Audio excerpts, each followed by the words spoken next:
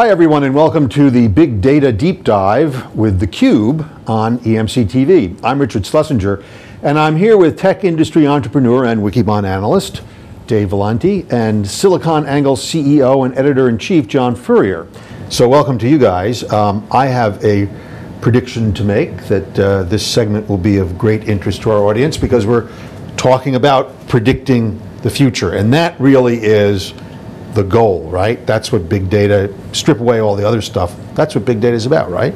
Yeah, and we talk a lot about this being the tip of the iceberg. We're now at a point, Richard, where we can predict the future. And now it becomes, I've said a number of times, we're in the early innings. Now it becomes a matter of, okay, what do we do with that information? How do we mobilize and take action in an anticipatory way? And how big of a, an issue is that in the community? Uh, it's, it's the number one thing we're seeing right now. We're seeing analytics as the hottest trend in tech right now. And underneath that, if you think of it as like a car, under the hood is a lot of tech geek stuff going on. But what analytics really means is that you can get real-time information at the right time delivered to people. So whether it's a predicting the, the landing of a hurricane could have saved New Orleans. I mean, this is the kind of impact that big data can, can provide. Well, because if you think about it, I mean, sifting through mountains of data on all sorts of things um, can help predict uh, economic, social, or you know, even natural trends.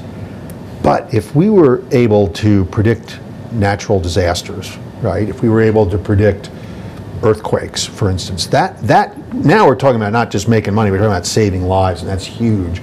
So look at uh, this story that EMC TV did a little while back about a group of scientists who were trying to predict volcanic eruptions.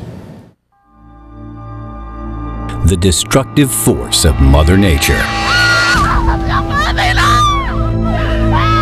Deadly, indifferent, overwhelming but these natural disasters can generate massive quantities of data. Data we can use to mount our first line of defense.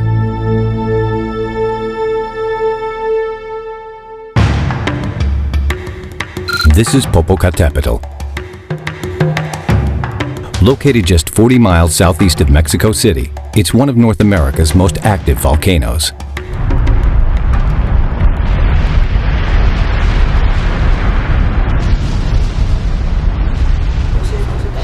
Volcano expert Carlos Gutierrez Martinez is alarmed by Popocatépetl's recent spike in seismic activity. This is a fragment thrown away from the volcano during a minor explosion.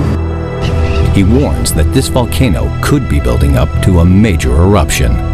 If this uh, volcano explodes, it can uh, scatter all those debris and fragments up to 30 miles to the south.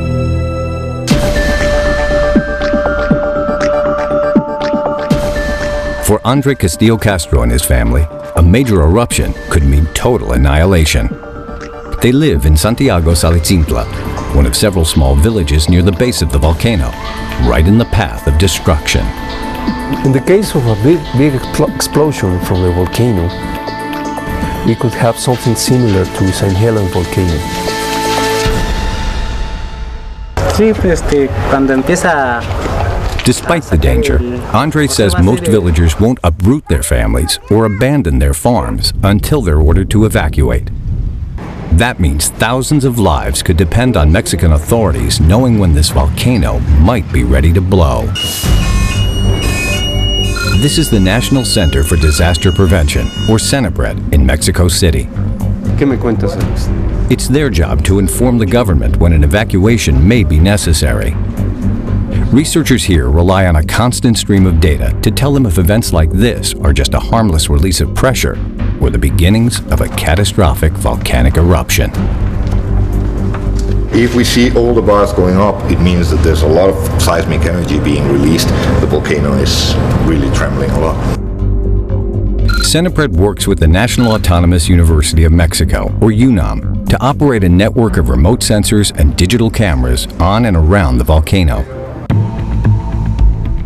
we have collected a lot of information uh, related with the seismicity, the ash emissions, the explosions. The remote sensors feed researchers thousands of data points per second, enabling 24-7 data analysis that can sense a pending eruption in real time. Now we can look at much more information. We could pull it out right away and we could do a lot of analysis. With the, all the data information that we have right now, we can make definitely better decisions.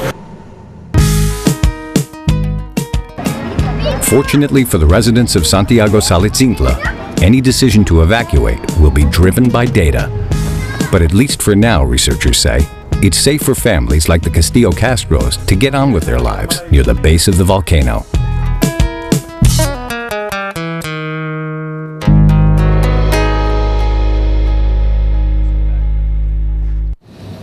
So the best part about the work that they're doing down there in Mexico is that they're, they're not only talking about predicting individual volcanic eruptions, but they're gathering a database of the behavior of volcanoes that, you know, could be used in, in, in further research. So it's really, there's a lot going on there. There, uh, there are major breakthroughs that are possible um, in that science.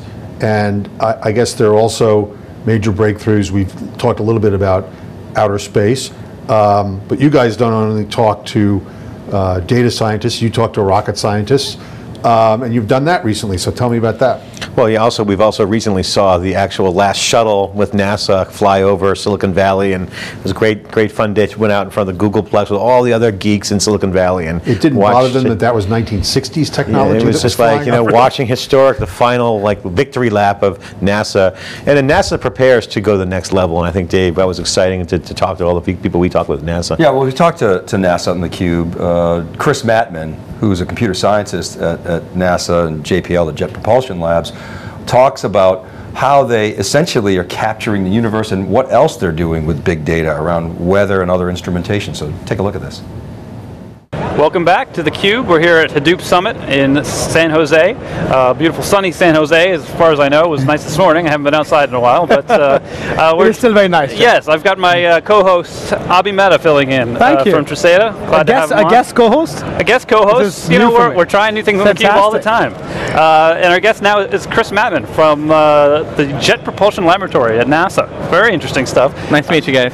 Nice to meet you. Welcome to theCUBE. Uh, it's a painless, painless environment. No, no worries at all. So, you haven't uh, hurt me yet. So. so you were just coming from uh, a talk you gave. Yeah, yeah, I was just coming from why- talk. Why don't we share a little bit with our audience, kind of what you, what you were uh, talking about, and then maybe we can go into some of the use cases, things you're doing at NASA. yeah, no problem. Yeah, so I basically was talking about um, some of the challenges, like some of our big data scenarios that we have at um, at NASA. Like, for example, the Square Kilometer Array, which is an international project, the next generation radio astronomy instrument that's going to generate about 700 terabytes of data per second.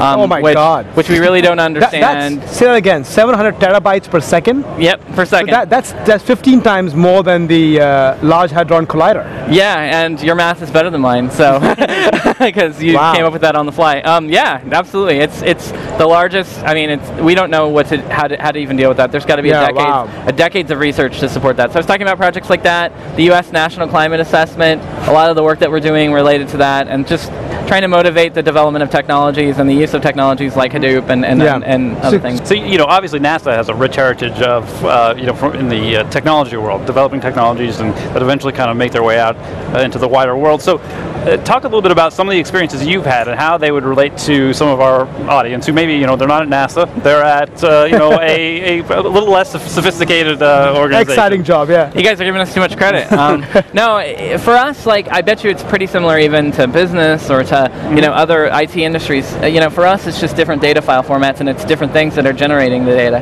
You know, a lot of people or a lot of companies like Yahoo or whatever, the data is being generated by users, like hundreds of millions of users that do clicks or whatever. But you can think of that in a way as something that is being observed and then some derived analysis that happens from that. For us, the thing that's doing the observing a lot of times, at least at JPL and at NASA, are remote sensing instruments that look mm-hmm. at the Earth, that try and measure different parameters. You know, they're looking at surface albedo, you know, reflectance, and so and they're looking at the measurement of or of snow in a particular pixel of the Earth. You know, Yeah. and then it's basically the the things that are different are the data file formats, the you know the tools that operate on them. A lot of people here in the Hadoop community are you know they're R users, they're Python Right. users. We're not as sophisticated Oh, a lot within you know NASA because a lot of the people that write our algorithms and our codes to crunch on the data, they're scientists that aren't trained programmers. You know, Ah. they pick up a little bit of programming, you know, along the way. And so that's those are the main sort of differences. The differences are in kind of the variety, the velocity, the typical big data, Right. you know, things, but also just in the nuts and bolts.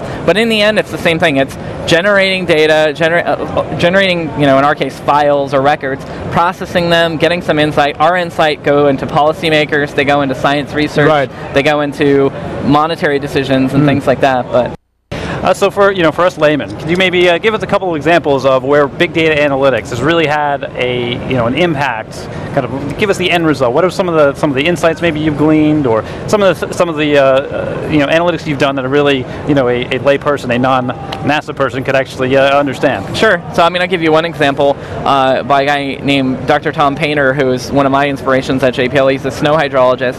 Basically, what he's he's working with the Bureau of Reclamation. He's working with the water managers in the Western U.S. and he's trying to figure out how to generate more accurate measurements of, of snow melt. And, uh, and and snowpack so that we can get better measurements of water so that we understand that water managers understand how much water to release for the coming season. Or just people know what to predict in terms of um, uh, recreation and parks. Like parks and recreation is a $10 million industry you know in colorado and the western us just people going and skiing and things like that. And so if we don't have snow around people Yeah. can't do that. And a lot of people that are in the money making profit stream for that you know hurt. Yeah. so being able to generate more accurate measurements of snow and being able to use data systems and big data and, predict- and analytics for that is just something where I think we're seeing a lot of value on. It's contributing to the U.S. National Climate Assessment. Wow. You know, it's going into all of the climate reports and so forth. So that's that's something that's really fresh on our So, minds. so, so you think, uh, to be a little bold, that big data can help solve global warming? It's a big data problem?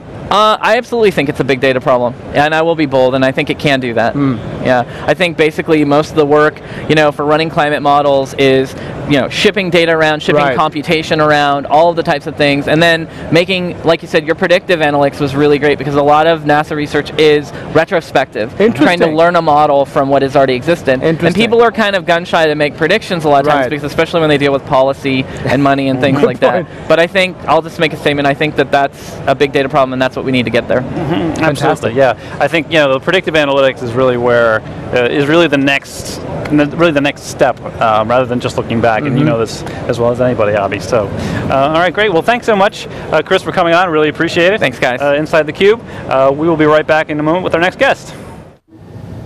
So, uh, you know, listening to this guy, uh, Mr. Mattmann, or Dr. Mattmann probably, I'm wondering uh, how, how, what's the relationship in, in, in, the, in your world between the data scientists and the other kinds of scientists, the, the rocket scientists, the volcanic scientists? Uh, is, there a, is there a close relationship? Well, increasingly, those two worlds are coming together. You're seeing, you know, data hackers and statisticians and business analysts essentially become data scientists. Um, what's interesting about that segment to me is that you've got a situation where you're taking a lot of data, but you're making inference out of that data. In the old world, prediction was about building models, and those models were, you know, the be-all, end-all. Whatever the model said was the answer. And now it's about taking sort of fuzzy data and drawing inference from that, and that's different. But also the real-time nature of the big data thing would make it hard to have, you know, models that you don't change because things change. Yeah, we're seeing a lot of things going on with that.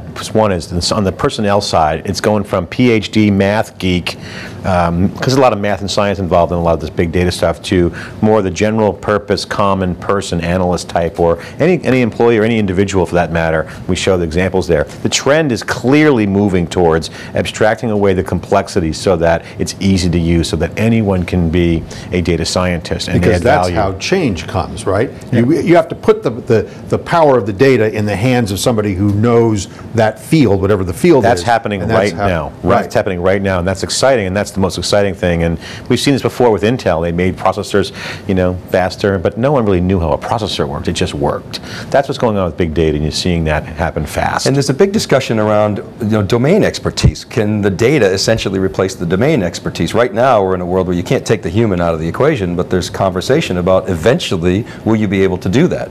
That's another Wow, very wow. scary You're- thought. You're making me nervous here. You know, the, the, uh, there's, there's a lot of work uh, going on in uh, climate uh, research, as, as, as Mattmann talked about. Um, we found this company, there's a, there's a company doing some really interesting stuff on, on climate research called Three Tier that is using, I mean, really decades of data to, uh, to try to help companies make investments and make decisions in what kind of energy production to, to invest in, uh, and what's, you know, how the climate affects those decisions. And we did a little story on them, so, so take a look at this. Renewable energy is generally driven by natural phenomena like uh, sunshine, wind, rain. They show up when Mother Nature decides to deliver them and not when you necessarily need them.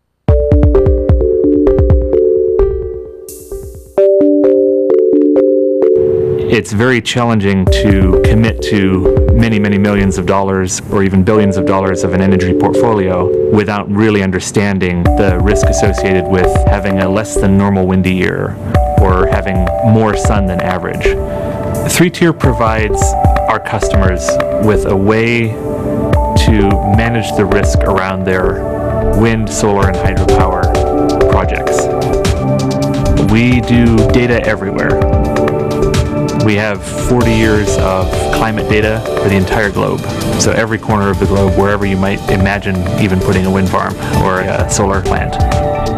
We distill all of that data down to the critical decisions that the customers need to make. Do I buy now? Do I sell now? Do I invest in this? A yes, no answer for us as a company, even though we know that at the end of the day, we may be sending out something that is a few thousand bytes to the client, we may be churning through many terabytes of data to get there.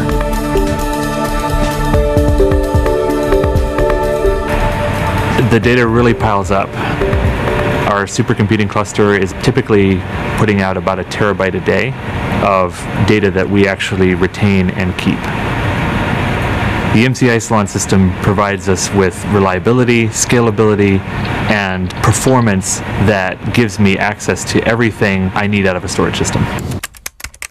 We have this long laundry list of science we'd like to say, oh yeah, you know, we'll include that someday, but increasingly that day is like today or tomorrow. Mother Nature has an infinite supply of data for us, and to me, the more we can get our hands on that data and make use of it, the more we can work with Mother Nature in terms of providing a sustainable future.